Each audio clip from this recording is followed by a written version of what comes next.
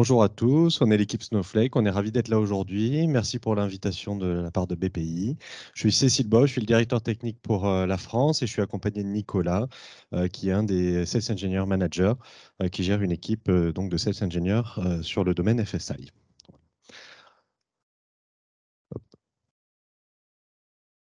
Je vais peut-être commencer par parler un petit peu de l'histoire de Snowflake. Alors, c'est la tech qui parle à la tech, mais je trouve que c'est toujours important de revenir aux racines et le pourquoi pourquoi on a commencé l'aventure euh, Snowflake et pourquoi Snowflake a été créé? Donc le motto, je ne vais pas tout vous lire, mais l'idée c'est de mobiliser les données de l'entreprise euh, dans le sens de leur métier. Comment on peut utiliser au mieux les données de l'entreprise pour les aider à faire leur métier, et ça avec un réseau global sécurisé qui permet d'interconnecter toutes les entreprises entre euh, leurs clients, leurs fournisseurs de données et de services. Le constat de départ avec Snowflake, c'était de dire qu'aujourd'hui, il y a de la donnée de partout. On produit de plus en plus de données à des formats très différents. On retrouve ça dans des silos qui sont des silos technologiques, des silos géographiques, historiques pour certains. Même le cloud public contribue à créer des nouveaux silos, que ce soit chez un cloud provider, dans un SaaS comme Salesforce, Workday par exemple. Et aujourd'hui, l'enjeu, c'est d'arriver à réunir cette donnée pour l'exploiter, pour créer des insights, pour prendre des décisions. Donc nos fondateurs ont voulu créer une nouvelle plateforme autour de la donnée qui permette euh, très facilement d'utiliser la donnée à n'importe quelle échelle, n'importe quelle quantité de données, avec à chaque fois la performance adéquate pour l'ensemble des cas d'usage, tout en étant sous forme euh, d'utility model, donc à la consommation qu'on paye uniquement pour ce qu'on utilise, avec une élasticité une élasticité pardon, instantanée qui permette de répondre à des gros besoins à un instant T et de revenir à de plus petits besoins juste après. Euh, donc, toutes ces promesses sont euh, très intéressantes. Je vais essayer de vous expliquer avec Nicolas comment on a réussi à adresser ces sujets-là et qu'est-ce que propose Snowflake. Donc avant de parler du produit, je vous refais un petit peu euh, l'histoire. On est une jeune société créée en 2012, donc société américaine mais Cocorico créée par deux fondateurs français, euh, des vétérans de la data déjà à ce moment-là, qui travaillent sur ce produit, donc cloud native, on le verra, qui va tenir ces promesses-là. Un petit peu de développement, deux ans, deux ans et demi, début 2015, première version publique du produit commercialisé. Cinq ans plus tard, un gros round d'accélération euh, avec un investissement d'un milliard euh, quatre, avec de nouveaux investisseurs de référence qui va permettre à la société d'accélérer. C'est également à ce moment-là qu'on pivote vers le data cloud, qui est aujourd'hui le positionnement de Snowflake et qui nous différencie d'une simple data platform. Et je vais illustrer ce qu'on veut dire par le data cloud après. Septembre 2020, on est introduit en bourse, plutôt avec succès, la plus grosse IPO software euh, jusqu'à présent. Et aujourd'hui, en début d'année, un peu plus de 6000 clients, 1 milliard de revenus et 40 milliards de, de, valuation. Si je vous parle du positionnement de Snowflake et tel qu'il a été pensé, donc euh, ce qui est important d'avoir en tête, c'est que dès le début, les fondateurs ont pensé à une plateforme. Donc ils ont créé un moteur qui soit agnostique et qui permette de, euh, de supporter l'ensemble des cas d'usage du cycle de vie de la donnée. Alors, on a commencé avec cette architecture cloud native à créer un cloud data warehouse, donc un data warehouse dans le cloud avec la performance et l'élasticité que pouvait apporter le, le, cloud public. Et puis, on a commencé à rajouter des fonctionnalités à ce moteur-là pour devenir une plateforme où on va servir des cas d'usage sur cette plateforme. Et dernièrement, depuis 2020, euh, cette vision du data cloud où en plus de notre plateforme, on va fournir un réseau, un écosystème euh, de données, de fournisseurs de services qui vont venir apporter de la valeur à la plateforme en elle-même et donc in fine aux clients. Donc ce réseau, on l'appelle le Data Cloud. C'est un seul et même réseau qui interconnecte l'ensemble des clients Snowflake et leurs clients et leurs fournisseurs de data et de services de manière sécurisée. Quels sont les bénéfices de cette vision du Data Cloud Snowflake sur trois grands piliers? Le premier pilier, c'est faciliter l'accès à la donnée. Aujourd'hui, il y a un gros enjeu d'accéder à la donnée euh, de la part de nos clients, que ce soit en interne, au sein de l'organisation, entre différentes BU, différentes filiales, mais aussi au sein d'un écosystème de clients, de fournisseurs, et même les données tierces. On a beaucoup, beaucoup parlé aujourd'hui de data science. La data science ne s'appuie pas que sur les données internes de l'entreprise ou son écosystème immédiat, mais on a des données third party, tierces, qui sont utilisées pour alimenter les modèles, pour affiner nos projection. Et aujourd'hui, c'est important de faciliter l'acquisition et le traitement de ces données externes. C'est aussi la gouvernance, on peut le voir comme la boîte à outils de l'entreprise, comment elle va amener les fonctionnalités qui vont permettre de protéger la donnée, d'enrichir la donnée et de l'utiliser, mais aussi de la connaître, de la découvrir, de la productiser, de la mettre à disposition des bonnes personnes. Et tout ça pourquoi? Pour actionner la donnée. Si on revient à notre motto, mobilize en anglais, c'est préparer pour l'action. Snowflake, c'est exactement ça, c'est la plateforme qui vous permet de préparer vos données pour l'action, pour leur utilisation finale que ce soit pour développer des produits, pour faire de la data science, pour faire des dashboards, de la BI, etc. L'ensemble de ces cas d'usage sont supportés par la plateforme. Donc si on est là pour la tech pour la tech, si je regarde derrière le discours un petit peu marketing, notre data cloud, c'est deux choses. C'est la plateforme Snowflake en elle-même et le contenu qu'on va retrouver sur cette plateforme. Le contenu amené par nos utilisateurs, nos clients, mais aussi par les fournisseurs de données et de services que l'on va retrouver dans cet écosystème, mais également tous les ISV qui peuvent être partenaires, euh, euh, comme on a pu le voir sur la euh, présentation précédente. J'aime beaucoup cette illustration parce que le Data Cloud, c'est aussi une illustration physique. Si vous regardez, on a lancé le concept, pour ceux qui ont retenu et qui ont suivi, début 2020. Début 2020, voici la représentation graphique. Deux ans plus tard, où est-ce qu'on en est? Chaque point que vous voyez, c'est un client Snowflake.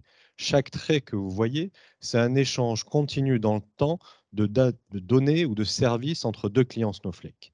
Et vous pouvez voir graphiquement se dessiner des grappes qui correspondent à de la création de valeur, à de l'utilisation, que ce soit euh, un fournisseur de données financiers qui partage de manière euh, continue en temps réel des nouvelles sur euh, euh, le, milieu FSI, comme aujourd'hui on peut en parler, ou tristement d'actualité les données du Covid qui sont partagées et qui sont utilisées par les entreprises pour modéliser des comportements, essayer de prévenir, de gérer la supply chain pour s'adapter mais c'est également des ISV qui utilisent Snowflake comme plateforme et qui leur permet de partager des grosses quantités de données, des pétabytes de données de manière transparente, immédiate et gouvernée. Et puis tout le tour que vous voyez sur ce cercle-là, c'est l'ensemble des compagnies qui utilisent Snowflake pour partager avec leur écosystème qui, lui, n'est pas forcément sur Snowflake. Donc aujourd'hui, on est très ouvert et on permet à l'entreprise de partager avec l'ensemble des acteurs de sa chaîne de valeur. Donc cette plateforme, quand on l'a pensée, on l'a voulu très rapide pour l'ensemble des workloads. On voulait être capable de traiter des petites requêtes comme des requêtes historiques. On pouvait euh, animer un dashboard comme faire euh, de l'exploratoire. On voulait vraiment être capable de traiter l'ensemble des sujets. On voulait aussi quelque chose qui est simple. Snowflake est né dans le cloud public. Euh, l'idée, c'est vraiment... Ah, c'est la salle d'attente. L'idée, c'est vraiment de proposer une plateforme qui est managée qui est, dont la scalabilité est complètement assurée par Snowflake. Contrairement à d'autres choses qu'on a pu voir aujourd'hui, il n'y a pas d'infrastructure à manager pour le client avec Snowflake. Il n'y a rien à installer. C'est Snowflake qui maintient euh, l'entièreté des capacités elle-même, qui le manage, qui l'optimise, qui le patch, qui le sécurise et qui en a la responsabilité. Le client se concentre sur l'utilisation de ces données et pas sur l'infrastructure sous-jacente.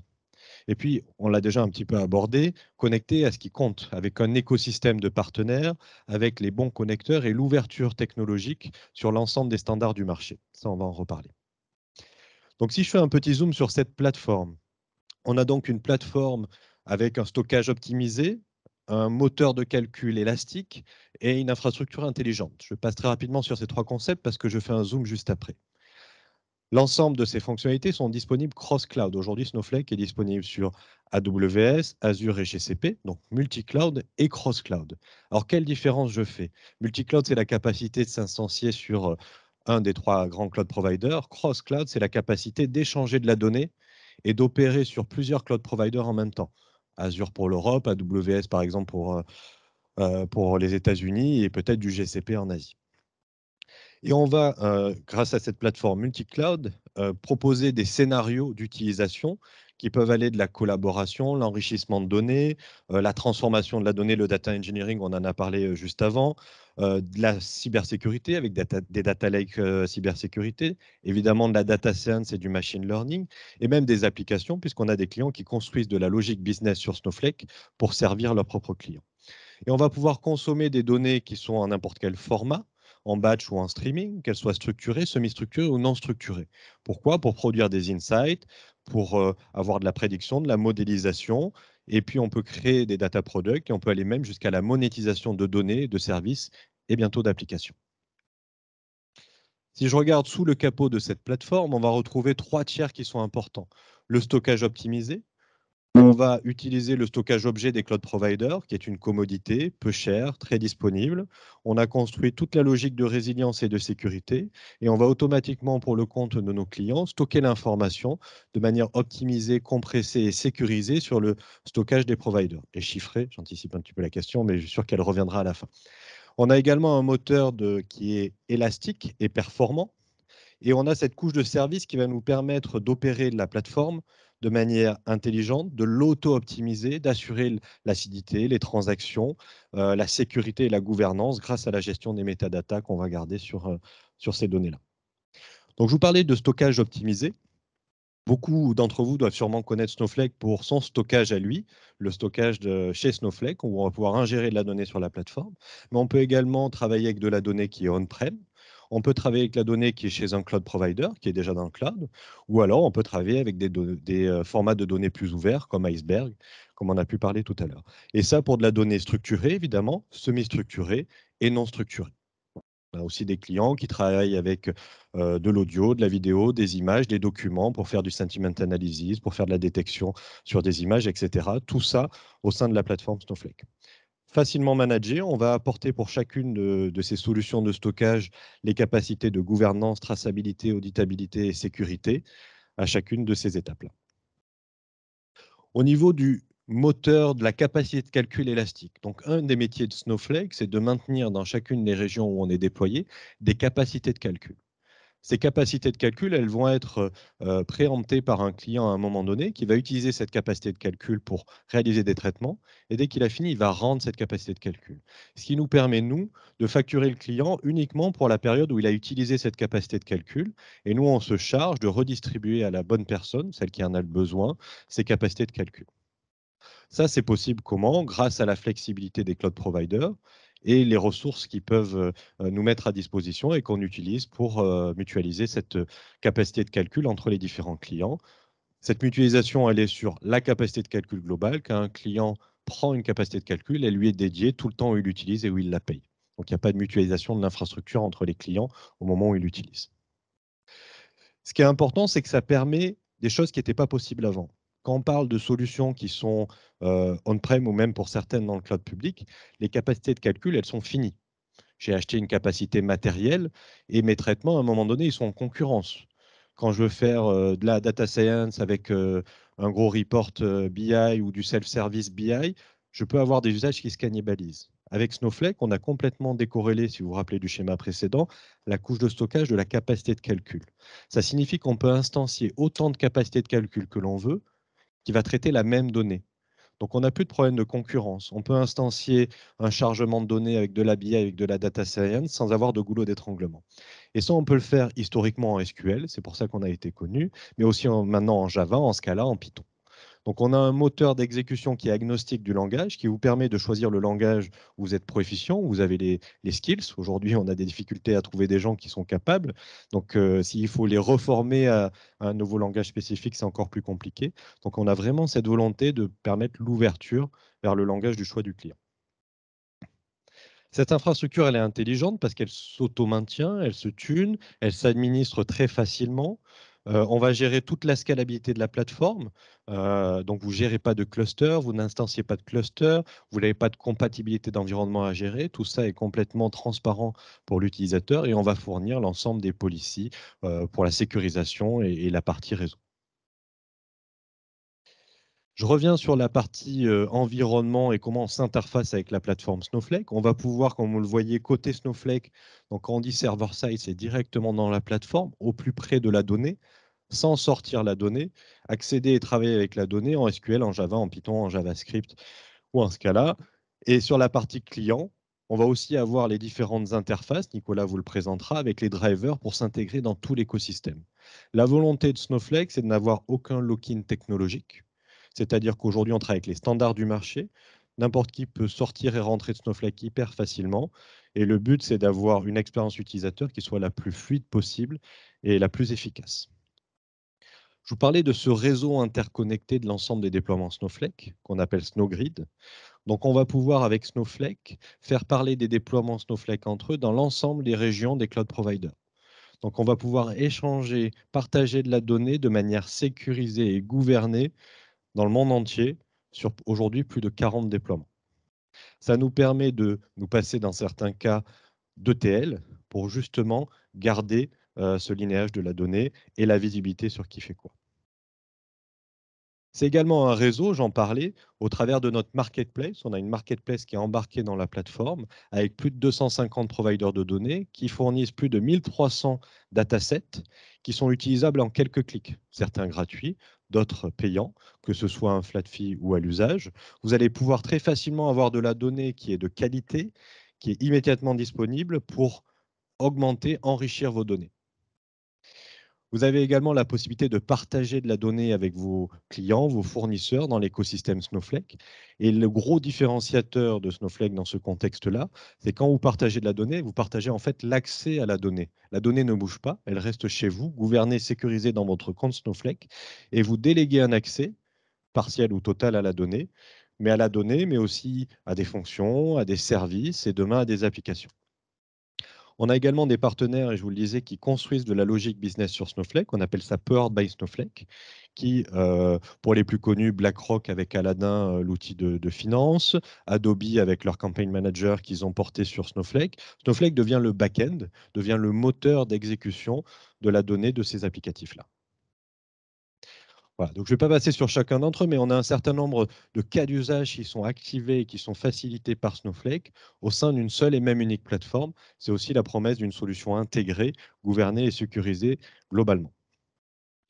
Ce petit slide pour rappeler justement qu'on va pouvoir du coup cumuler les cas d'usage au sein de l'entreprise euh, sans jamais se concurrencer, sans jamais cannibaliser des ressources, avec la possibilité de toujours plus avoir de concurrence des usages. On a un écosystème qui est très large, que ce soit un écosystème technologique, comme vous pouvez le voir en haut, ou un écosystème d'intégration ou de conseil pour accompagner nos clients dans cette transformation. Peut-être finir sur quelques chiffres. Donc, euh, le dernier trimestre, on a eu un petit peu moins de 400 millions de, revenus. On a fait l'année dernière un milliard de, de, revenus et on est sur le chemin des 2 milliards. On a un peu plus de 6000 clients aujourd'hui qui nous font confiance, avec plus de 200 clients qui dépensent plus d'un million par an chez Snowflake. Un chiffre qui me semble intéressant, c'est le net retention rate. C'est euh, sur une cohorte de tous nos clients sur deux ans. Entre la première et la deuxième année, la deuxième année, ils consomment 1,74 fois plus de services Snowflake.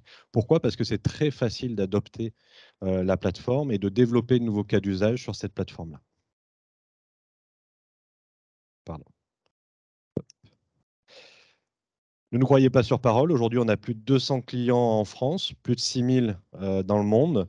Un, bel exemple en France, c'est Monoprix.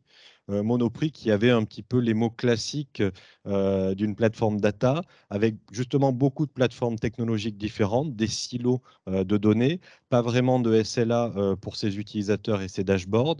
Il y avait un problème de performance sur des gros historiques de données, euh, qui était important pour eux. Et puis, ils avaient très peu de capacité de partage d'informations avec leur écosystème de clients et de fournisseurs, notamment par des échanges de fichiers plats euh, traditionnels, FTP, comme on peut tous l'avoir connu. La solution a été de migrer l'ensemble de ces cas d'usage sur la plateforme Snowflake euh, et d'utiliser le Snowflake Data Sharing pour mettre en place ce partage sécurisé avec leur écosystème. Le résultat, c'est un seul référentiel de données où ils ont fait converger l'ensemble euh, de leurs sources de données pour pouvoir l'exploiter avec un SLA approprié et un data sharing, le partage d'informations avec leur écosystème de manière gouvernée et sécurisée et surtout en temps réel. J'ai beaucoup parlé, maintenant on va passer à la partie intéressante. C'est Nico qui va vous faire euh, la partie démonstration du produit. Merci, merci Cécile. Alors, voilà euh, oui, alors on a, jusqu'à qu'on se donne combien de temps à peu près? Moi, je, peux être, euh, je suis passionné, donc je peux être très bavard et je peux aller très loin. Donc, euh, ça marche. 15-20 minutes. Donc tu fais, le time... tu, fais le timekeeper. De toute façon, s'il y en a qui veulent voir un peu plus de démos, euh, je, serai là, je serai là après. De toute façon, l'idée c'était de vous faire un petit tour, euh, un petit tour de la, de la plateforme. Euh, donc comme l'a dit, comme l'a dit Cécile, ce que je vais faire, parce que je vais augmenter un petit peu, que vous puissiez me dire, est-ce que là, au fond de la salle, ça va? Test ophtalmo avec les. Ouais, vous pouvez dire. Non, un peu plus? Un peu plus encore Oui, il y a un petit oui, un petit peu plus. Ok, donc on va faire un peu plus. Ça marche. Euh, avant, donc, avant de rentrer, ça c'est l'interface web en fait de Snowflake. Euh, avant de rentrer, je voulais juste euh, rappeler, Cécile l'a dit, mais rappeler.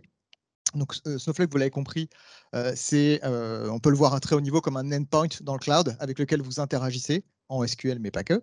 Euh, et vous avez ici la liste de tous les connecteurs, d'accord, et tous les, tous les connecteurs qui sont à votre disposition pour interagir avec Snowflake. Ça, c'est un point qui est important sur ce côté ouverture, connectivité, ouverture. Donc, vous voyez, on a bien, bien sûr un SnowSQL qui est un utilitaire en ligne de commande. Euh, on a un connecteur pour Python, on a un connecteur pour Spark, pour Kafka, Node.js. Bon, je ne vais pas vous faire la liste à l'après-vert. Bien sûr, les standards ouverts, hein, JDBC, ODBC, on les supporte. C'est un point qui est important. PHP. Voilà. Je, vous enverrai la liste, mais il y a énormément de, de connectivité. Euh, pour mettre aussi un petit peu en contexte, parce que c'est bien de faire le tour de, la plateforme, mais on va, jouer un peu avec des datas. Donc euh, avec quel data on va jouer Le dataset qu'on utilise, c'est le dataset CityBike. Donc CityBike, si vous le connaissez, euh, c'est l'équivalent du programme Vlib, mais à New York. Voilà. Donc c'est assez simple, ça a l'avantage d'être assez simple pour comprendre la data. Vous avez des stations, vous prenez un vélo, euh, point de départ, point d'arrivée, euh, et ça, ça génère beaucoup de data, de la, donnée qui est ouverte, et c'est la donnée qu'on utilise pour, pour la démo. OK? Donc, euh, si on regarde maintenant l'interface, l'interface de Snowflake. Donc, je vais vous faire un petit, tour du menu là, et puis on va, en profiter. Je vais commencer. Je vais pas commencer par les worksheets, je vais commencer par les dashboards pour vous montrer euh, euh, qu'on peut créer des, visuels et des dashboards comme ça dans Snowflake. Je vais, je vais revenir après dans le flow de la démo sur comment on les crée. Mais vu que je vais resetter tout, comme ça vous verrez qu'il n'y a pas de, il y a pas de préparation ou pas de triche sur, la démo. donc, je voulais vous les présenter au début. Donc, vous voyez, typiquement c'est un dashboard où on voit les, bah, les stations de départ, les stations d'arrivée. On remonte un certain nombre de KPI, le nombre de trajets. On voit ici, euh, donc dans le temps, l'évolution des trajets dans le temps par heure de la journée. Et on a aussi euh, notre équipe d'analystes qui a constitué un tableau de bord avec, avec une, euh, en mettant en avant les corrélations possibles entre la météo et, et les trajets qui sont faits, les locations de vélo qui sont faites. OK? Donc, bah, j'ai bien sûr les worksheets. Donc, les worksheets, qu'est-ce que c'est En fait, c'est notre éditeur SQL, l'endroit où on va éditer le SQL. Donc, c'est d'ailleurs ici que je vais aller faire mon euh, reset fast. Donc, vous voyez, très simple, c'est ici que je vais pouvoir, avec de l'autocomplétion, très simplement, et pas que aussi, visuellement me représenter la donnée. Je vais vous montrer ça après. Euh, euh, exécuter, par exemple, l'intégralité de mon reset. Voilà. comme ça, j'exécute mes requêtes, j'ai plus de data, et on va recommencer tout ça ensemble. right. Donc, du coup, euh, on a parlé des worksheets, de la partie dashboard. je vais zoomer un petit peu. Maintenant, on va regarder. Alors, on a bien sûr une section data. La data, c'est ici que vous allez retrouver finalement toutes vos databases. D'accord? On va ici retrouver euh, nos databases, par exemple CityBike, CityBike Reset. Euh, c'est des databases qui sont, qui sont là à, notre disposition. On a tout un tas de, bases de données ici euh, disponibles. On a aussi la marketplace. Ça, c'est important. J'y reviendrai pendant la démo. C'est ici qu'on va retrouver bah, les fameux 1300 plus datasets dont a parlé Cécile. Euh, vous savez, les points là, du fameux nuage. Euh, on a donc la partie activité qui va nous renseigner sur bah, tout euh, finalement qui est, l'endroit où se trouvent tous les logs, tout le monitoring, on va dire bas niveau de tout ce qui se passe sur Snowflake. et on a aussi la partie admin qui contient notamment, et là j'en profite et je, vous, le montre ici avant de me lancer dans la démo, notamment la partie visuelle sur l'usage qui est fait de votre compte Snowflake. Donc là je vais me mettre en account admin je change de, rôle euh, pour vous montrer ça. Et euh, le, point, c'était de vous montrer qu'on peut contrôler euh, l'usage qui est fait de Snowflake en termes de crédit Snowflake, en termes de coûts, assez finement à travers des visuels qui sont directement disponibles dans, la plateforme. Donc là, je, suis sur l'organisation où il y a tous les prix sales monde de Snowflake, donc il y a beaucoup de comptes. Tous les points que vous voyez ici, c'est des comptes Snowflake. Maintenant, je peux venir filtrer sur le compte de démo sur lequel je suis. Parce qu'il y a cette logique dans Snowflake, Cécile l'a évoqué, d'organisation, c'est-à-dire que je peux, en tant qu'organisation, avoir un compte sur, euh, sur AWS, sur Azure et ainsi de suite. Donc EU, démo 23. Alors si vous vous demandez pourquoi 23, c'est 23 décembre, c'est mon anniversaire. J'avais le choix. J'avais le choix dans le. Voilà, donc vous voyez, je fais, je fais plus énormément de démos, mais en tout cas, ce qui est intéressant, c'est que je peux voir ici le 12 juillet, le nombre de crédits qui ont été utilisés, je vois les warehouses et je peux ensuite rentrer dans le détail. Je peux aussi avoir une vue par, euh, euh, par euh, une vue financière. Donc ça, c'est au niveau du, de la partie billing. alors là, avec mon, dans les, sur les comptes de démo, on n'a pas de notion de, de, de crédit, de coût associé, donc je ne peux pas vous montrer. Mais en tout cas, c'est des choses qu'on peut faire. OK? Donc maintenant, pour, euh, donc la première chose, pour charger, on va charger des données dans Snowflake, ces fameuses données CityBike. Pour les charger, qu'est-ce qu'il me faut? Il me faut du compute. Euh, ce dont parlait euh, Cécile tout à l'heure, ce fameux, ce fameux moteur de compute élastique. Donc ce qu'on va faire, c'est qu'on va aller créer ce qu'on appelle un virtual warehouse. Le virtual warehouse, c'est l'objet essentiel de Snowflake. Donc je vais me remettre avec le bon rôle. Donc vous voyez là, je change le, le rôle et au passage, toute la gouvernance dans Snowflake, on n'a pas réinventé la roue, on est basé sur le modèle RBAC, Role Based Access Control. C'est un standard qui existe depuis, euh, dans l'industrie depuis des, décennies et qui fonctionne très bien. Et donc, c'est là-dessus qu'on est construit. Donc là, je me mets avec mon rôle DBA CityBike et je vais venir donc dans la partie admin, dans la partie warehouse, créer ce qu'on appelle un virtual warehouse. Donc, comment je crée une instance de compute côté Snowflake? C'est très simple. Je viens ici dans warehouse, je fais plus warehouse et je vais lui donner un nom. Donc, je vais l'appeler load warehouse puisque c'est celui que je vais utiliser pour le chargement. Je vais lui donner une taille de t-shirt. En l'occurrence, je peux lui donner. Alors, vous voyez, ça va de XS à, 5XL. Donc là, c'est très important parce qu'en fait, on a cette approche en fait linéaire dans la montée en charge des virtual warehouse. C'est-à-dire que en termes de machines qu'il y a derrière les virtual warehouse, on a cette montée en cette mise en cluster de une machine, deux machines, quatre machines, huit machines et ainsi de suite. Et cette montée en charge linéaire, vous la retrouvez dans les performances des requêtes que vous, envoyez à Snowflake. D'accord? On a aussi la capacité à activer ce qu'on appelle le multi-cluster. Ça, c'est important. Le multi-cluster, c'est comment, qu'est-ce qu'on propose, nous, pour de façon élastique, absorber les pics de concurrence. Euh, on peut imaginer que derrière un, outil, euh, euh, de BI, par exemple, de reporting, type tableau pour BI, vous allez avoir forcément bah, des pics de concurrence. Vous allez avoir le lundi matin, c'est 10 heures, et vous avez une, grosse partie des gens qui arrivent et qui se connectent pour charger leur rapport. Qu'est-ce que ça crée? Ça va créer de la contention. Et automatiquement, si votre warehouse est, a cette option multi-cluster activée, vous pouvez lui donner une limite, bien sûr, pour contrôler quand même un seuil.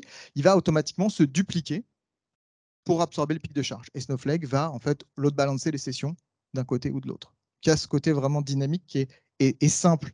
Et là, on insiste là-dessus, mais c'est vraiment quelque chose qui est dans le mantra de Snowflake, c'est de rester le plus simple possible. Vous voyez, ici, on parle de taille de t-shirt et euh, de, finalement de, boutons activés, de, fonctionnalités activées. On a, et enfin, pour terminer, l'option qui est euh, des warehouses, c'est euh, ce qu'on appelle l'auto-suspend et l'auto-resume, c'est cette capacité à se réveiller ou à s'éteindre automatiquement. Ça aussi, c'est important parce que quelque chose qui est fondamental aussi dans Snowflake, c'est que notre mode de consommation, c'est de la facturation à la seconde d'utilisation de Virtual Warehouse. Donc le Virtual Warehouse, il a deux états. Soit il est allumé, il est prêt à recevoir des requêtes, hein, une, deux, trois, quatre, cinq, et ce n'est pas une seule requête d'ailleurs. Souvent, c'est, les clients font cette, analogie qui n'est pas la bonne. Euh, euh, et, bien sûr, il a cette capacité à s'éteindre automatiquement, notamment en activant ses options auto-suspend et auto-resume, euh, pour justement bah, plus d'usage. Par exemple, entre midi et deux, plus personne se connecte sur le fameux report, bah, on ne paye plus. Le week-end, c'est pareil. OK?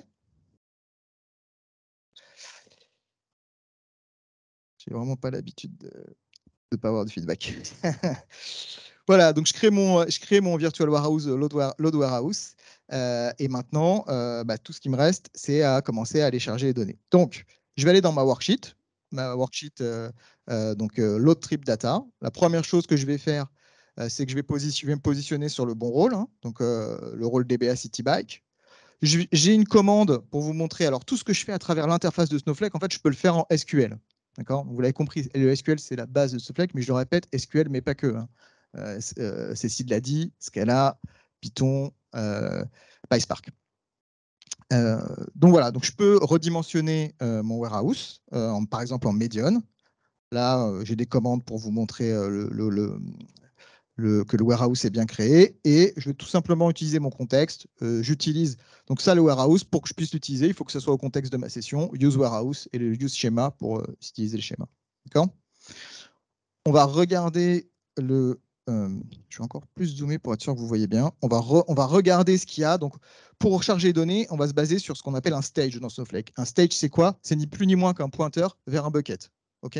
Donc, on pointe vers un bucket qui contient, et c'est là on va, on, va le lister tout simplement. On va regarder ce qu'il y a dedans, qui contient un certain nombre de fichiers.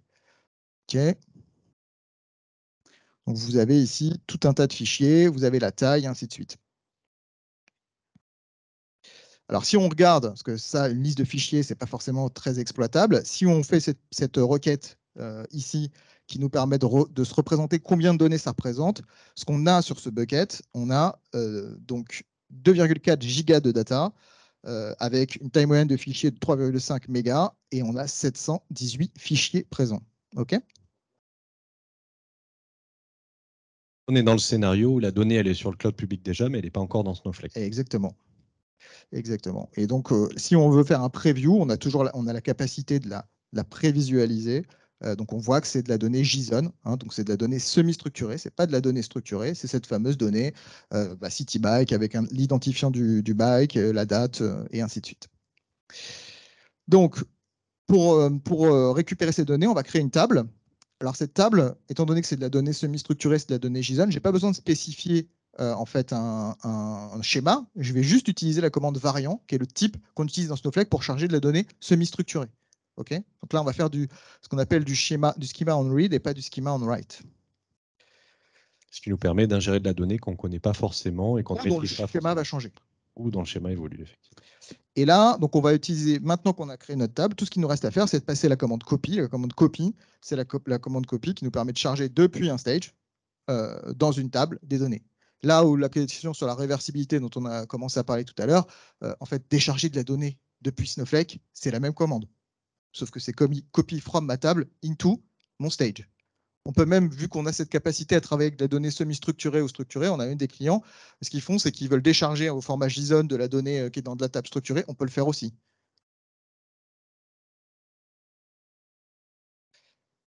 Voilà, donc là, je suis en train de charger sur mon virtual warehouse qui est de taille médium, du coup, euh, les, données. Donc, vous voyez, j'ai quand même mis ici 2021, c'est-à-dire que je suis en train de charger les données CityBike de, 2020, de 2021. C'est aussi mon but là, c'est de vous illustrer la scalabilité de Snowflake. Donc, en 11 secondes, ça m'a permis de charger donc, tous ces, toutes ces datas. Si je regarde le nombre de données, si je fais un compte étoile sur la table pour voir le nombre de données que ça représente, 6 millions de lignes. J'ai chargé 6 millions de lignes en 11 secondes c'est pas mal. Mais maintenant, alors oui, on peut aussi, ça je vais le passer, c'est la, requête qui vous montre. Maintenant, on va essayer de charger tout le reste des datas, ce qui représente à peu près 50 millions de lignes, je crois. Et donc là, euh, bah, ce qu'on va faire, c'est qu'on va passer sur un warehouse de taille XX large, 2XL. Donc là, là ce que je fais, c'est que je vais faire un alter warehouse sur la warehouse size. Je suis en train de faire ça. Je vais ici, et je vais faire mon copy into trips. Copie sur ma table trips. Et cette fois-ci, j'ai pas mis de, j'ai pas mis d'année. Donc là, je suis, je travaille sur l'intégralité des données, et donc je suis en train de charger. Mais on va voir combien de millions de lignes puisqu'on va, on va vérifier les résultats. on est passé d'un médium en 2x large. On a multiplié par combien notre capacité de calcul? Eh ben, du coup, 2x large, euh, on était à médium, on était à 4 nœuds. 2x large, on doit être à 16 nœuds, si je ne dis pas de bêtises. Donc par 4. Ouais. Très bon en maths. Hein. C'est toi le, le, qui, fait les, qui fait les maths. Et donc voilà, donc si je regarde maintenant le nombre de, le nombre de lignes que j'ai dans ma euh, table TRIPS, euh, en fait, j'ai 42 millions de lignes. Pour vous donner un petit peu l'idée, je viens de charger 42 millions de lignes en une dizaine de secondes. Euh,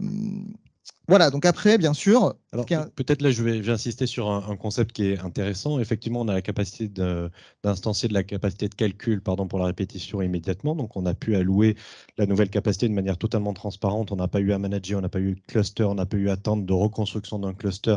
C'est immédiatement disponible pour la prochaine requête qu'on va faire.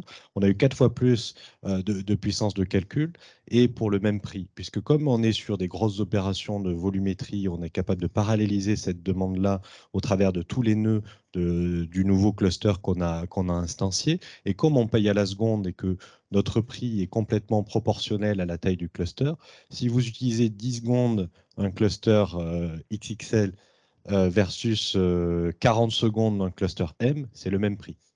Donc aujourd'hui, on propose à nos clients cette capacité d'ajuster le SLA, la puissance qu'ils mettent à disposition, sans forcément avoir à compromettre le prix.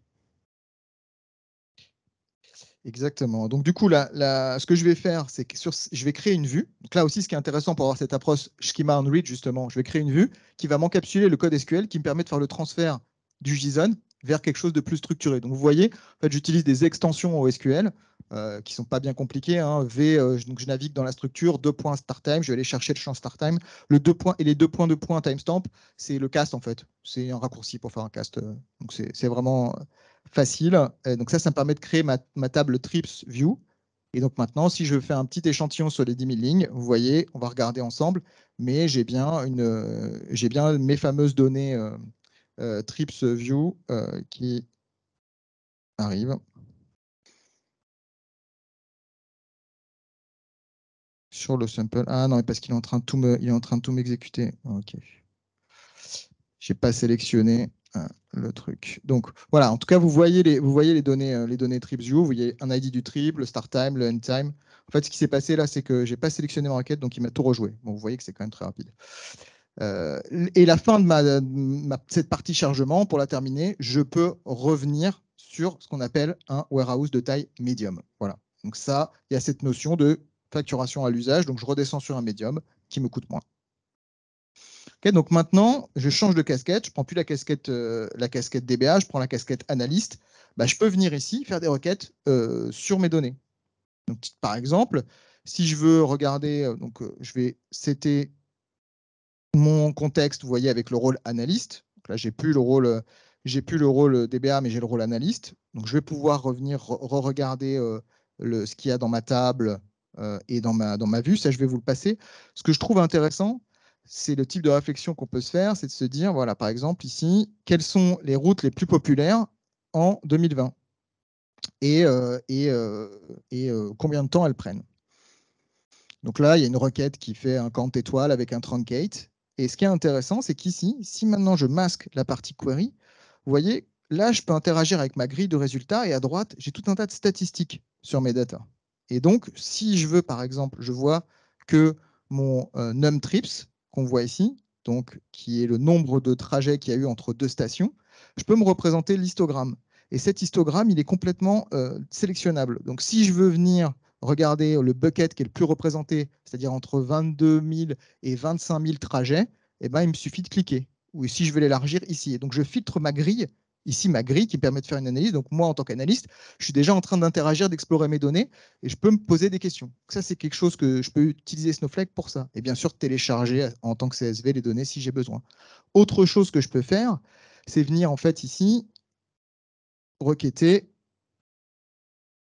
par exemple, me représenter les, trips dans le temps. Donc là, à partir de ce résultat, qui est assez simple, hein, j'ai une date et j'ai le nombre de trajets, je peux créer par exemple un chart. Si j'ai envie de me créer un chart, pour, par exemple, me représenter ici le nombre de trajets dans le temps. Alors, qu'est-ce qu'on voit? On voit qu'il y a ce côté, euh, on voit qu'il y a ce côté euh, finalement cette saisonnalité dans les trajets à vélo qui sont faits à New York. Une hypothèse assez simple qu'on pourrait se faire, c'est que c'est lié à la météo. Il peut faire très froid à New York. Faire très froid. Est-ce que la météo a un impact? Donc, comment on vérifie Comment on vérifie finalement cette hypothèse? Eh bien, tout simplement, ce qu'on va faire, c'est qu'on va venir chercher de la donnée externe, de la donnée météo. Et comme on l'a dit, la donnée météo, on a la chance qu'elle se trouve sur la marketplace. Donc, je vais aller sur la marketplace Snowflake. Je vais tout simplement taper Weather. Là, j'ai un certain nombre de datasets à ma disposition qui sont disponibles. Et je vais pouvoir, par exemple, Global Weather Climate Data for BI, ça me semble pas mal.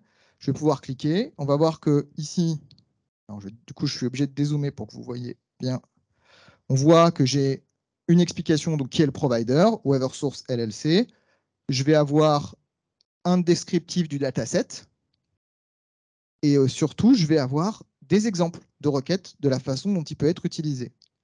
Il me plaît, c'est quelque chose qui me semble pertinent. Donc, je vais cliquer sur Get et tout simplement, alors celui-ci est, gratuit, je vais euh, tout simplement le mapper avec une database. Qu'est-ce qui se passe? C'est un share. Le fournisseur de la donnée, c'est Source elle met à disposition ce share, ils ont créé ce share en tant que fournisseur sur la marketplace.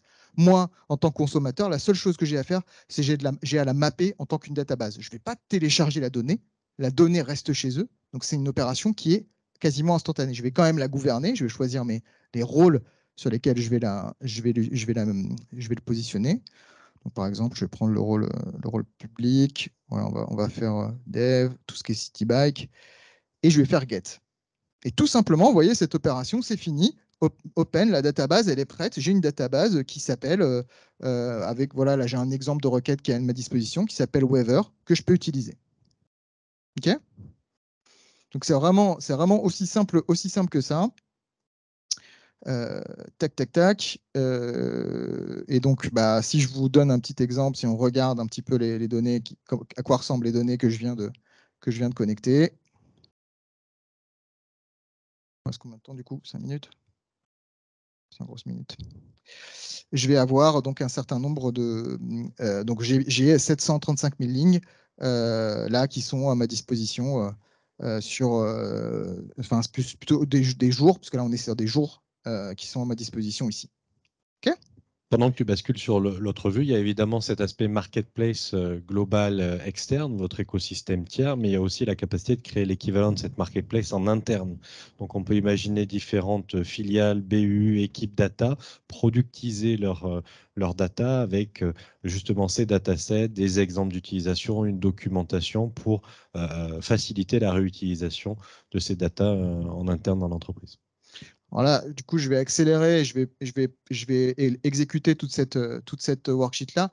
L'idée de cette worksheet-là, c'était de vous montrer qu'on peut créer ce qu'on appelle, et ça aussi c'est extrêmement important, on a parlé de gouvernance dans Snowflake, on peut créer ce qu'on appelle des politiques de sécurité. C'est-à-dire que basé sur les rôles, basé sur euh, euh, les rôles, on va pouvoir euh, dire bah, voilà l'approche que je veux avoir sur de la donnée personnelle. Est-ce que je veux potentiellement masquer, anonymiser partiellement la donnée? Tout ça, c'est des choses qu'on peut faire. Il y a aussi des choses qu'on peut faire autour de notre simplicité à créer des environnements de développement isoproduction avec ce qu'on appelle des clones dans Snowflake. Euh, mais là, je pense qu'on va, va s'arrêter là. Je vous laisserai euh, revenir vers moi si vous avez, si vous avez voilà. En tout cas, voilà, c'était le teasing. Vous voyez, il, me reste pas mal de choses euh, que j'aurais pu vous montrer. Alors, Nicolas est intarissable. Si je résume ce qu'on a vu, on s'est connecté à un stockage cloud où il y a des données non structurées qu'on a pu ingérer dans la plateforme et manipuler sans les transformer en données structurées. Donc, on travaille toujours avec le, le JSON source et on a pu aller chercher de la donnée externe pour venir enrichir cette donnée et essayer de trouver une corrélation entre la météo et les usages de ces tripes vélo. Il nous reste euh, beaucoup de temps pour les questions. Je te donne le micro. Vous avez réussi à, faire venir le CTO. Ah. Philippe? Quand même, fallait, fallait le faire déplacer là. Vous avez réussi à le déplacer. Ah, et il est, il est à une heure de ses vacances. Quand même, quand même, bien joué. Bien joué. Pour l'appétit. Question d'abord en ligne.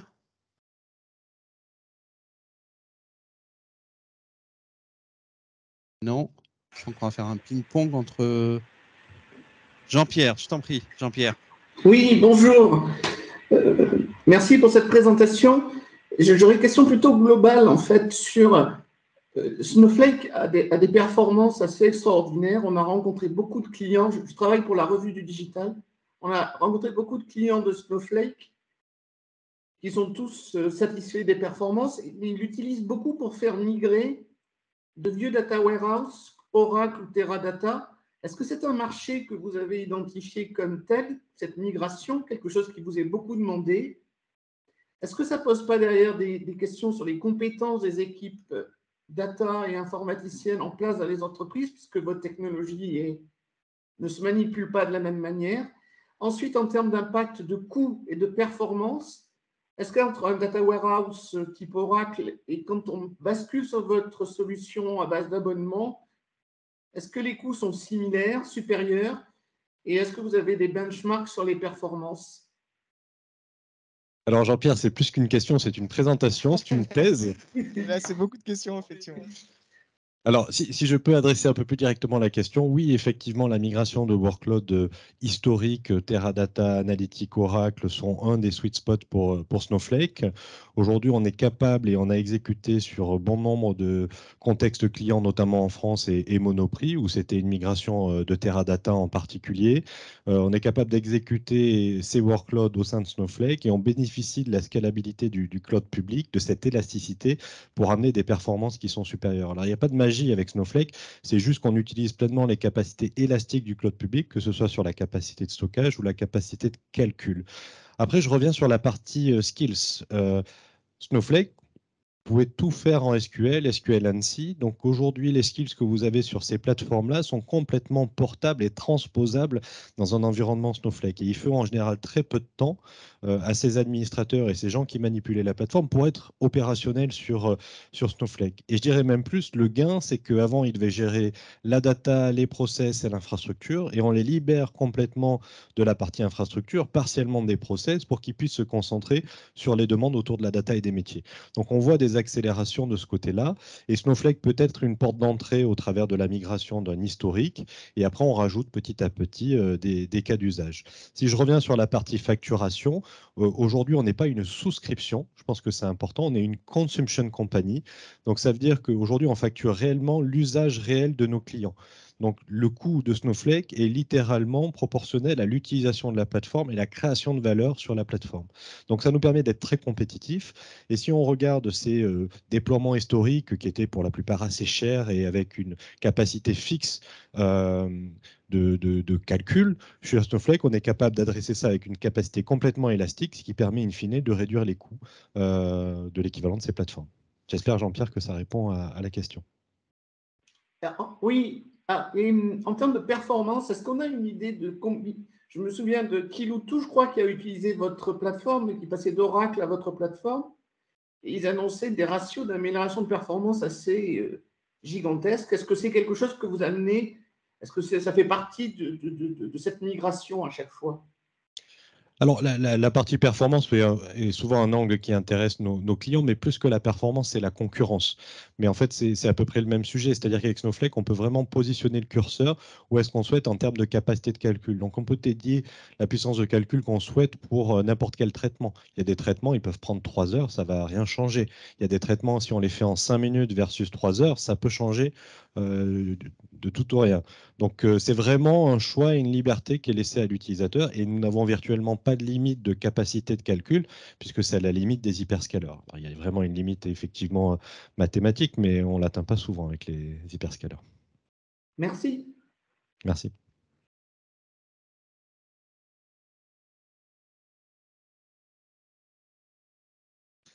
BPI d'abord. Petite question. Euh, merci beaucoup euh, pour la présentation. Euh, je voudrais savoir comment Snowflake, c'est qui les compétiteurs directs là, des Snowflake déjà? Alors aujourd'hui, on a une plateforme assez riche, donc ça dépend sur quelle partie du, du Data warehouse sur les clouds. Aujourd'hui, nos principaux concurrents, ce sont nos, nos meilleurs alliés. C'est les cloud providers avec leur stack multiple où on va enchaîner différents services qui vont fournir quelque chose de fonctionnellement similaire top. C'est bien que vous avez répondu ça. C'est comment est-ce que vous voyez en fait l'arrivée des Redshift serverless? Et aussi comment est-ce que vous voyez toute cette euh, partie qui existe déjà sur AWS comme Data Exchange, qui c'est justement cette euh, à peu près la marketplace là qui vous arrivez à changer de la donnée aussi, payant aussi, et euh, justement cette cette arrivée des les serveurs serverless data warehouse sur AWS. Alors, je, vais reprendre exactement ce que j'ai dit. Je pense que ce qui fait la différence, c'est le côté intégré et pas morcelé de services qu'on doit enchaîner avec des SLA et des cycles de vie différents, avec des managements de la gestion de la sécurité de la donnée ou de la gouvernance différents. Donc aujourd'hui, cet aspect plateforme qui fait la différence.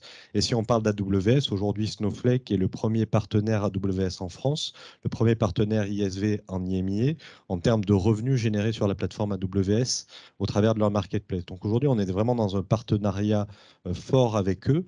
Il y a des cas où c'est plus pertinent d'avoir leur solution, il y a d'autres cas où c'est plus pertinent d'avoir Snowflake. Un point qui est important et que j'aime à souligner, c'est qu'aujourd'hui, un client euh, qui remplace Redshift par Snowflake consomme plus de services AWS qu'avant. Donc aujourd'hui, on est également un accélérateur dans ces phases de transformation pour AWS aussi. Et la dernière question, tout petit, vous êtes compatible avec HSM alors aujourd'hui, on a la capacité de gérer les clés pour le client et le chiffrement, et le client a aussi la capacité euh, de gérer euh, ses propres clés euh, sans qu'on ait accès à cette donnée avec un, coffre-fort externe.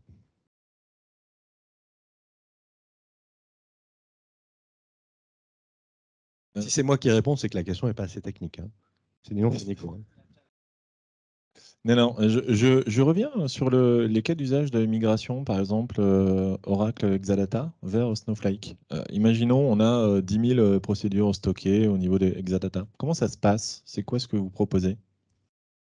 Alors aujourd'hui, il, y, a deux aspects à ça. Il y a le fait qu'aujourd'hui, on est SQL ANSI avec des choses qu'on a surchargées. Donc il y a quand même une très grande majorité du code SQL qui est euh, portable euh, quasiment euh, directement sur la plateforme. Il y a évidemment des extensions qui sont spécifiques à chaque éditeur. Aujourd'hui, on a des capacités internes à Snowflake avec des équipes de migration qui sont spécialisées dans la reprise de ces environnements existants, avec notamment une industrialisation avec du code conversion automatique et avec des moulinettes qui, justement adaptent ce, ce code-là. Ça, c'est l'aspect interne. On est même capable de s'engager sur ces gros systèmes au résultat. Donc ça, c'est important et ça a beaucoup de succès chez nos clients. Et puis, il y a aussi et surtout tout notre écosystème partenaire qui a cette compétence-là et qui est capable de vous accompagner non seulement sur la partie analytique, mais sur tout son écosystème. Parce que quand on parle de data, on parle surtout d'une chaîne de valeur. On migre rarement euh, que la partie analytique. Il y a l'alimentation, il y a la consommation et toute la chaîne de valeur autour. Je peux continuer? Est-ce que ça répond à la question? Oui, oui, oui, tout à fait. il nous reste 10 minutes. Je me donne voilà. Euh, une autre question pour euh, euh, répondre et, continuer ce qu'a demandé Marcio au niveau de, vos concurrents. Vous n'avez pas cité Databricks et régulièrement, vous échangez des, des, petits billets de blog qui ne sont pas très sympathiques l'un envers l'autre. Comment vous positionnez, vous, aujourd'hui, par rapport à Databricks? Chacun fait un chemin vers l'autre en termes de positionnement. Oui, effectivement, euh, on ne part pas du même point. Aujourd'hui, ils sont partis de l'univers de la data science ils reviennent vers l'univers de la data, enfin, ils vont vers l'univers de la data platform avec une vision qu'on ne partage pas forcément sur euh, des formats comme Delta Lake. Euh, nous, on avait une vision plus data platform, on n'a pas de velléité à faire de la data science. Nous, on se veut être une plateforme qui va activer ces cas d'usage, où on va être capable de faire la capacité de calcul de la data science au plus proche de la, donnée dans notre plateforme de manière gouvernée et sécurisée, mais on ne veut pas euh, on n'a pas la prétention d'aller sur des sujets de data science. La vision de Snowflake est plutôt de se dire on fournit le moteur et, la cohérence de la plateforme data et on laisse l'écosystème rajouter de la valeur, que ce soit au niveau du chargement, de l'ETL, euh, de la gestion, de la transformation, de la data science ou de la BI, de la data vis. Aujourd'hui, ce que vous avez vu en termes d'interface, c'est de la data vis dans un but exploratoire. On parcourt la donnée, on essaie de la comprendre. Aujourd'hui, on ne va pas euh, concurrencer un tableau, un Power BI euh, pour les nommer.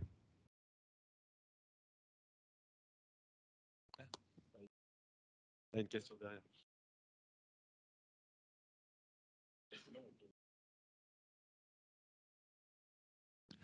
Ouais, ma question portait sur l'aspect euh, cross-cloud.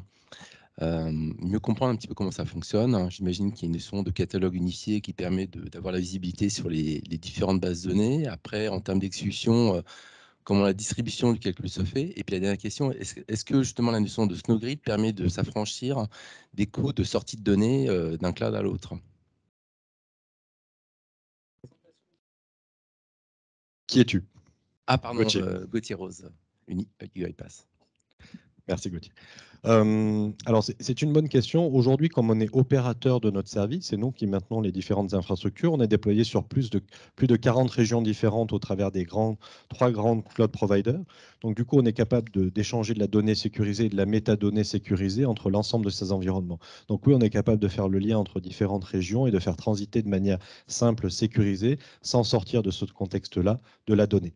Après, sur la partie euh, Y, puisque c'est un coût important, euh, on n'a pas de baguette magique. Donc, effectivement, si on doit répliquer de la donnée entre deux régions d'un cloud euh, provider différent, il y a forcément un coût qui, est, qui est associé à ça et qui est complètement transparent. Il n'y a pas de markup de notre côté là-dessus.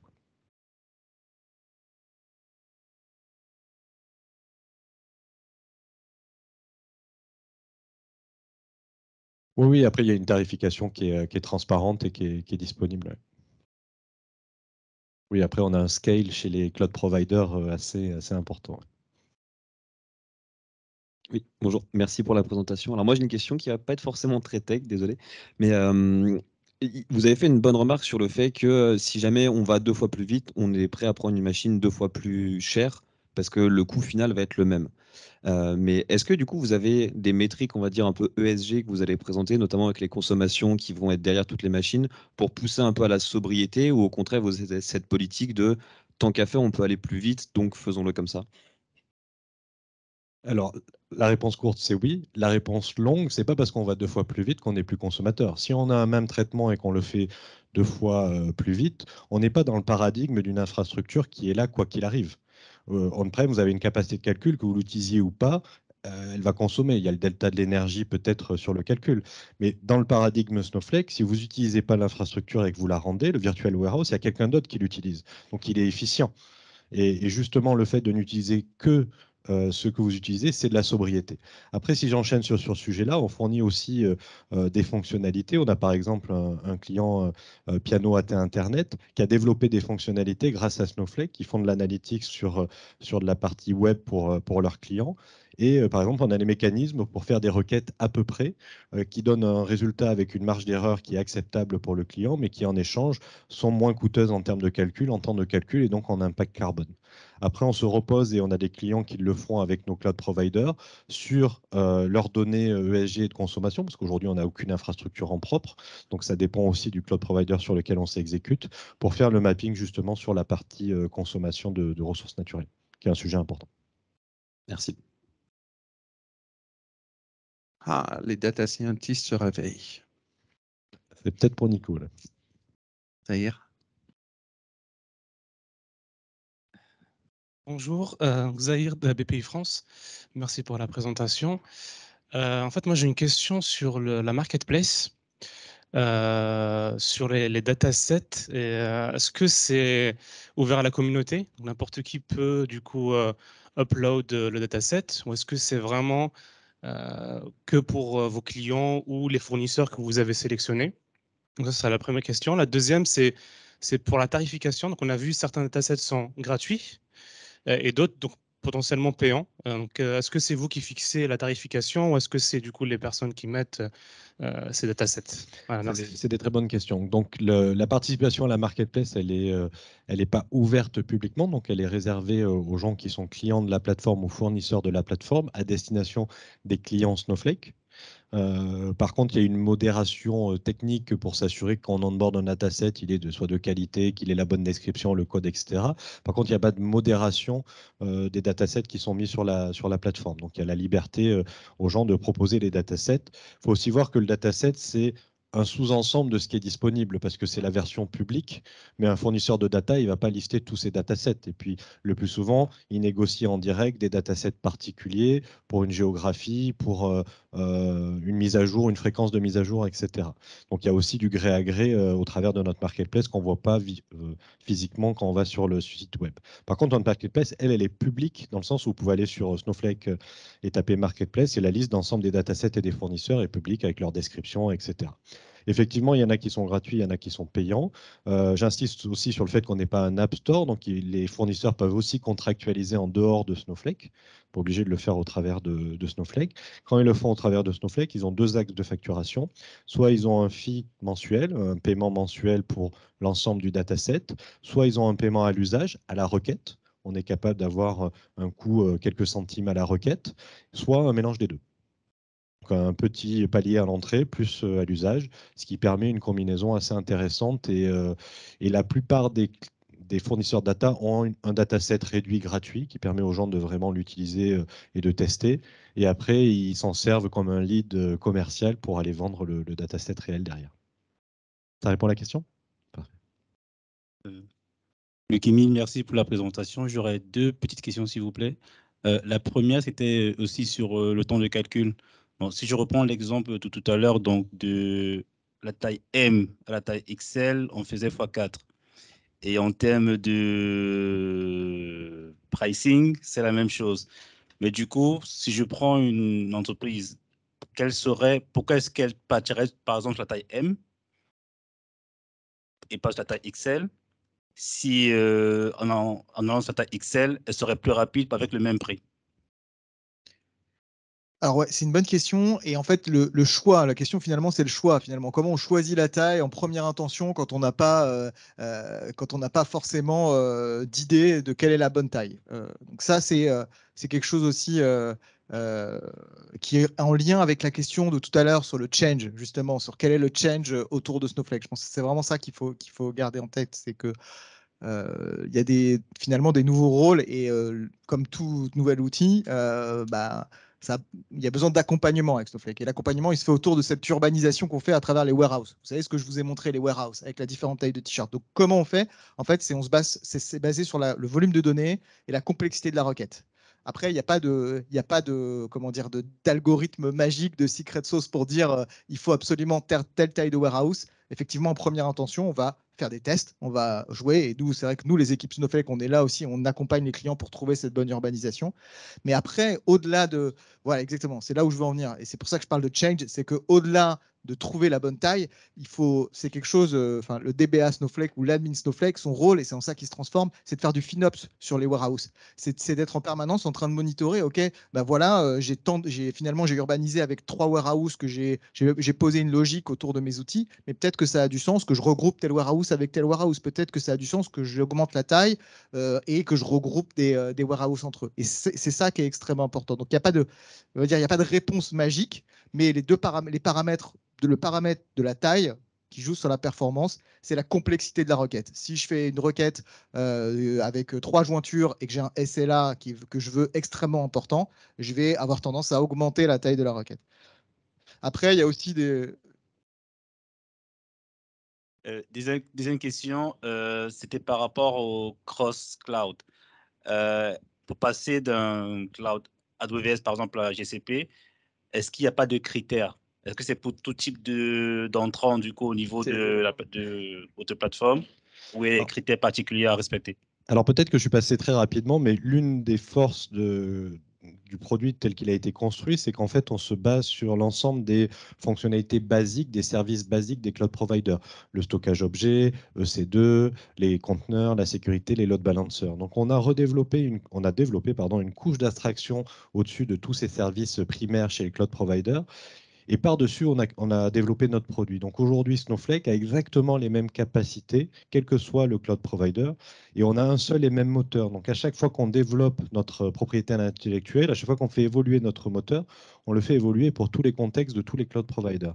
Donc aujourd'hui, à part l'affinité commerciale ou d'un existant euh, ou géographique, il n'y a, rien qui guide le choix d'un cloud provider pour, euh, euh, le client. Et même d'un point de vue pricing, euh, le, prix, pardon, le prix est le même quel que soit le call provider dans une région euh, donnée. Voilà, donc euh, y a, on n'oriente pas du tout le choix des clients. On, suit, on respecte le choix de, nos clients sur la partie cloud provider. Ça répond à la question? Ou c'était pas ça la question exactement? On va dire qu'il est content. Ok. Moi, je suis content, je suis content. ça va devenir payant maintenant les questions. Parce qu'il y a Franck Quentin. Donc je passe la question à Franck. Franck, qui est l'autre qui est de l'autre côté. Salut. probablement rapide de mon côté. Franck Quentin, Pays France. Euh, déjà, merci beaucoup pour la présentation. La plateforme apparaît en tout cas vraiment performante. Hein. Euh, je, me demandais en fait par rapport à vos expériences déjà passées, quel est le time range euh, nécessaire pour qu'une entreprise en fait puisse migrer sur Snowflake? Est-ce que, à partir de quel moment elle devient réellement autonome et qu'elle puisse commencer à exploiter ces données en fait? Ça dépend beaucoup d'où on part. Euh, ça dépend de la maturité sur le cloud public, ça dépend de l'existant qu'on cherche à transformer. Euh, mais je ne vais pas vous faire une réponse bateau. Si je dois faire, on va dire, le médian, on observe qu'il y a une phase de vraiment de démarrage chez nos clients d'environ six mois. Et au bout de six mois, il y a quand même euh, une bonne compréhension des concepts, de l'utilisation de la plateforme et ils deviennent vraiment efficaces.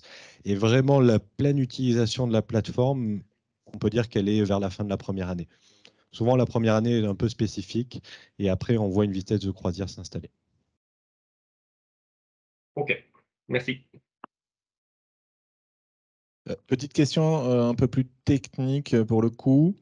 En termes de, cohérence de données, de consistance, etc., votre modèle interne, si euh, j'aimais, euh, je consomme un flux d'événements, euh, chaque événement, je veux le, vendre, le rendre disponible à la lecture le plus vite possible. Est-ce que je peux descendre en dessous de la milliseconde? Est-ce que vous êtes éventuellement consistante? Comment ça se passe? Deux parties dans la réponse. sur la consistance, déjà, on est acide cross virtual warehouse. Ça, c'est un premier, un premier élément de réponse. Et ensuite, sur l'aspect consommation d'événements, ça, ça va être lié à. On n'en a pas beaucoup parlé, mais on a annoncé, on a eu notre summit il y a trois semaines, on a annoncé une nouvelle fonctionnalité qui s'appelle Snowpark Streaming, qui va nous permettre justement d'avoir cette capacité à streamer des lignes. Alors, j'ai pas la latence. Je ne saurais pas vous dire exactement sur quelle latence on est. clairement, c'est dans les millisecondes. Après, on aura ces mêmes propriétés de, de transactionnel qu'on a aujourd'hui avec les warehouses. Euh, mais on peut regarder ça, hein, on peut regarder ça ensemble après euh, un peu plus en détail. Donc ça veut dire que dès que la donnée est committée euh, au niveau du process qui ingère la donnée, un, autre, un autre process qui vient lire, elle est disponible à la lecture. Exactement, exactement. Ça, c'est une évolution. Ou déjà dès aujourd'hui c'est déjà, alors, c'est déjà le cas. C'est déjà le cas. En fait, Snowflake est un système. Donc, juste pour, pour redire, on, on, supporte les propriétés acides euh, des données. Et donc, on est un système transactionnel. Aujourd'hui, Cross Warehouse. Ce que je vous ai montré, le load, euh, c'est begin transaction, end transaction. J'aurais pu l'encapsuler. Et donc, à ce moment-là, les données n'auraient été visibles qu'une fois que mon commit euh, aurait été passé. Et elles sont disponibles, quel que soit le warehouse qui attaque, qui attaque mon dataset. Ça, c'est déjà le cas depuis le début, en fait. Donc le côté transactionnel, c'est au cœur de Snowflake depuis le début. Après, il y a la notion de, euh, finalement de, streaming d'événements. Aujourd'hui, ça c'est des choses euh, qu'on est en train de mettre en place avec une latence encore plus petite que ce qu'on peut faire euh, aujourd'hui. Ok, très clair. Jean-Pierre, tu vas aller faire un superbe article, c'est ça? On, te passe. Oui, j'avais une question. Moi, peut-être vous venez d'y répondre avec l'histoire sur le streaming, c'était quelle est la prochaine avancée tech sur la plateforme sur laquelle vous travaillez depuis plusieurs mois et dont vous avez besoin pour faciliter la vie de vos clients et qui, eux, vont, dire Ah, enfin, ça arrive? Alors, pour moi, elle est assez claire. Euh, au début, quand on lancé Data Cloud, on avait une data marketplace. Donc, une marketplace où on retrouvait de la donnée, des datasets et des services, euh, donc des requêtes, des, procédures dessus. Euh, le gros pas et ce qui vient de changer avec les annonces qu'on vient de faire et le, futur de Snowflake pour moi, c'est la partie application. Donc, euh, on a parlé de cet aspect transactionnel. Notre marketplace, elle devient plus une data marketplace, mais réellement une marketplace. Où on va retrouver des applications, des services et de la data. Donc aujourd'hui, les sociétés en interne, en externe vont pouvoir développer des applications avec une interface utilisateur grâce à Streamlit qu'on a racheté il y a quelques mois, directement dans cette marketplace. Et la grosse différence, c'est que cette logique business, elle va pouvoir être déployée par les clients directement dans leur environnement Snowflake. Donc on va projeter l'application, la déployer directement dans l'environnement du client. Donc on casse le paradigme où le client est obligé d'exporter sa donnée dans un SaaS pour fournir un service, la traiter et la récupérer. Là, c'est l'application qui va venir au plus proche de la donnée du référentiel du client. Et donc, du coup, avec tous les gains euh, de gouvernance et de sécurité que vous pouvez imaginer, vu qu'on ne bouge pas la donnée. Et de performance, évidemment, euh, ça va sans dire. Donc pour moi, vraiment, l'avenir de, Snowflake et, et de l'innovation, ça va être cette capacité de porter ces applications au plus proche de la data. Juste un mot un peu plus technique du coup sur Streamlit. Streamlit, c'est un framework de développement en Python, si vous ne le connaissez pas, euh, qui permet très simplement, vous n'avez pas du tout à vous soucier de l'infra, de vos dépendances. En fait, c'est un peu la même approche qu'on a eu avec le Data Warehouse euh, initialement. On va, avoir, on va rechercher à avoir la même approche avec le développement d'applications en Python. Hier, Victor, quand il parlait de data products, de délivrer des data products, l'idée, c'est vraiment ça. C'est comment, en fait, on va euh, permettre à des, euh, des, profils business analysts qui connaissent un peu le Python euh, ou des data scientists de créer des datasets et, les, et finalement de les mettre à disposition en quelques lignes de code Python dans la main de business. C'est vraiment vers ça qu'on qu'on tend et qu'on va. Bonjour Philippe. Euh, est-ce une question plus euh, stratégique, est-ce que vous avez envisagé de décliner votre offre euh, sur, enfin votre solution sur les offres Seclum Cloud? Oui, quand. Alors, je reviens un petit peu en arrière sur la réponse est oui. Est-ce qu'on l'envisage Aujourd'hui, cette couche d'abstraction qu'on a développée au-dessus des cloud providers, elle repose sur des services basiques fournis par les cloud providers. Aujourd'hui, on a implémenté Snowflake sur l'ensemble des cloud providers qui disposent de ces services basiques. Après, dès qu'il y en a un autre provider qui fournira l'ensemble de ces services nécessaires avec le, et qui aura une l'appétence pour, pour des clients, on sera déployé sur ces environnements-là. Si, si OVH, des Scaleway, si un jour fournissent l'ensemble des services prérequis et qu'ils ont le, scale avec les différentes régions pour assurer la résilience de nos services, oui, c'est des choses qu'on considérera. Mais vous êtes en contact avec euh, Azure, euh, Google ou, AWS justement sur leur projet de déclinaison euh, Segment Cloud de leur offre? Oui. Et on était, pour préciser, si on doit préciser l'intention, on était membre de la partie Gaia, Feu Gaia, sur cette initiative-là européenne timing, parce que c'est un sujet effectivement, que Sekin Cloud qui, qui intéresse toute la communauté, en tout cas euh, France-Europe. Euh, en projection, tu penses quand? Alors, ça, je que Pashman, c'est vraiment, une c'est vraiment une question pour les cloud providers. D'accord. Parce que nous, aujourd'hui, on n'a pas. Est-ce qu'on peut envisager, tu penses, fin d'année? Quelque chose qui. Non. Fin de cette année? Ouais. Alors moi, tout ce que j'ai entendu sur des cloud providers, on était plutôt sur 2024. Que ce soit du Blue ou du, de l'autre nom qui est difficile à prononcer. Oui, oui. Très bien, un grand merci, bravo. Merci à tous.